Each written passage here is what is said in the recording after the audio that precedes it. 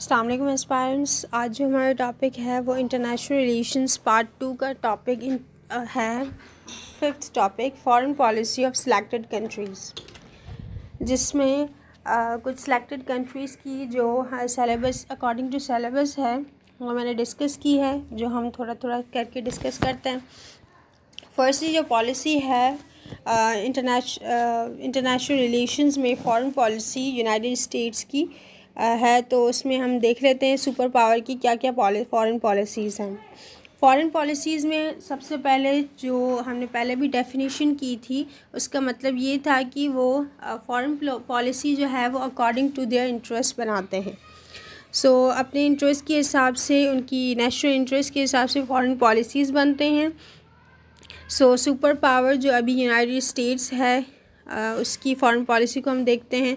उसका जो foreign policy है, वो अपने मेजर अलाइज और पार्टनर्स को देखकर और उनके जो यूनाइटेड स्टेट्स है, वो अपनी नेशनल इंटरेस्ट को देखकर फिर अपनी फॉरेन पॉलिसीज़ को अलाइज के साथ या इंटरप्रिटेट करता है, ठीक है?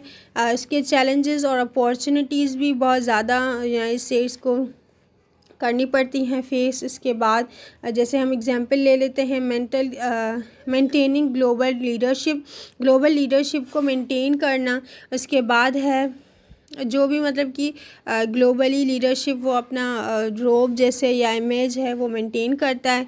फिर इसकी फॉरेन पॉलिसी में सेकंड जो है वो काउंटरिंग चाइनाज़ राइज ये करंट फॉरेन पॉलिसी है इसकी तो चाइना का राइज उसको काउंटो कंट्रोल कंट्रोल करना है उसको, ठीक है? उसके बाद है प्रोमोटिंग डेमोक्रेसी और and human rights human rights को प्रमोट करना और डेमोक्रेसी को प्रमोट करना इसकी अभी है कि ये ह्यूमन राइट्स को हमेशा प्रिवेल करता है और ह्यूमन राइट्स को देता है। लेकिन कभी कभार जो, जब इसके नेशनल इंटरेस्ट के ख़िलाफ़ होता है तो वो ह्यूमन राइट्स को इतना इम्पोर्टेंस नहीं देता। वरना यूएस से बढ़कर ह्यूमन राइट्स को ज़्यादा वैल्यू को और कोई नहीं करता। इसके बाद है रिस्पॉन्डिंग टू ग्लोबल क्राइसिस जो भी ग्लोबल क्राइसिस हैं, जिसमें पैलेस्टाइनियन पैलेस्टाइन कश्मीर और दूसरे यूक्रेन रशिया और जो भी करंट सिनेरियोज़ के हैं तो उसको रिस्पॉन्ड करना, ये यूनाइटेड स्टेट्स की फॉरेन पॉलिसी में आता है। अब हमारी सेकंड रशिया की फॉरेन पॉलिसी यूनाइटेड स्टेट्स के बाद चाइना और रशिया वो वाद स्टेट्स हैं जो मतलब कि जो ताकतवर और दूसरे, दूसरी चीज़ों के हिसाब से अभी ग्लोबल वर्ल्ड में इन्फ्लुएंस करती हैं। रशिया जो है वो पहले से सोवियत यूनियन और इनकी वजह से दूसरे उसके मतलब अलग अलग हर किसी कंट्रीज़ के पास पावर्स होते हैं। तो रशिया जो है वो पावरफुल भी है यूनाइटेड स्टेट्स के बाद और चाइना के बाद भी। तो इसका देख लेते हैं, इसका जो है वो करंट स्नैरियो में relationship with the West through trading और इसमें इसके अलावा भी है। रोल इन रीजन कॉन्फ्लिक्ट्स भी बहुत ज़्यादा रोल प्ले करता है रशिया इसके बाद। जैसे हम एग्जांपल्स ले लें फॉरेन पॉलिसीज़ की करंट कैसी है expanding its sphere of influence तो ये अपना इन्फ्लुएंस जो है वो एक्सपेंड करता है ओवरऑल uh, इसके बाद चैलेंजेस जो भी यूनाइटेड स्टेट्स की तरफ़ से उसको आते हैं उनको भी कंट्रोल करता है और अपनी जो इन्फ्लुएंस है वो बढ़ाता जाता है. फिर securing its border and interest इसका जो है वो बॉर्डर अपने सिक्योर करता है इंटरेस्ट भी. इसके बाद है मॉडर्नाइजिंग इट्स मिलिट्री अपनी मिलिट्री को ना वो बहुत ज़्यादा मॉडर्नाइज़ करता है। तो रशिया की सबसे ज़्यादा जो खूबी कही जाए वो अपनी मिलिट्री को बहुत ज़्यादा एडवांस्ड और मॉडर्नाइज कर, करता रहता है ठीक है? सेकेंड है इसकी थर्ड जो है हमारी फॉरेन पॉलिसी का टॉपिक चाइना का। चाइना जो है वो अभी इमर्जिंग पावर है इकॉनमिक पावर भी है और इन फ्यूचर ये सुपर पावर भी होगा। ठीक है। अब है इसकी overview China's growing influence China's का जो चाइना का जो इन्फ्लुएंस है, वो one belt one road initiatives के थ्रू बढ़ता जा रहा है अभी। और इसकी जो फॉरेन पॉलिसी है वो relationship with the United State and other major powers इसकी रिलेशनशिप्स भी हैं बहुत ज़्यादा मतलब यूनाइटेड स्टेट्स के साथ भी और दूसरी मेजर पावर्स के साथ भी।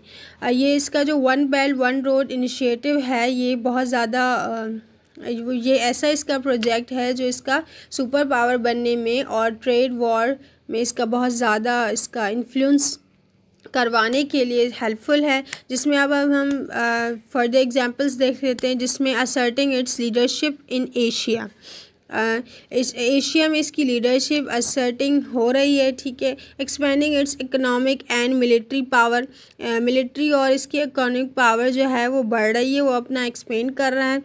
फिर है promoting its own model of governance इसने अपना खुद का अपना मॉडल दिया है गवर्नेंस का ताकि ये मतलब कि कैसे गवर्नेंस को हमें प्रमोट करना चाहिए। ठीक है challenging the x tends existing international order international order जो है, वो एग्जिस्ट कर रहा है। ये उसको चैलेंज करता है, जैसे अगर हम इंटरनेशनल रिलेशंस के हिसाब से देखें तो लिबरलाइजेशन जो है वो चाइना की पॉलिसी में है। तो इंटरनेशनल रिलेशंस पार्ट टू के तहत आपको आ, ये भी करना है कि आपको अकॉर्डिंग टू जो जो थ्योरीज़ हैं वो आपको अप्लाई भी करनी है। तो यूएस की थ्योरी में और रशिया की थ्योरी में सॉरी फॉरेन पॉलिसी में आप लोगों को आ, जो पॉलिसी लगानी पड़ेगी जो थ्योरी लगानी पड़ेगी वो रियलिज़म की थ्योरी होगी। लेकिन जब चाइना का आएगा तो चाइना की जो पॉलिसी है या थ्योरी है वो है लिबरलिज़म के ऊपर।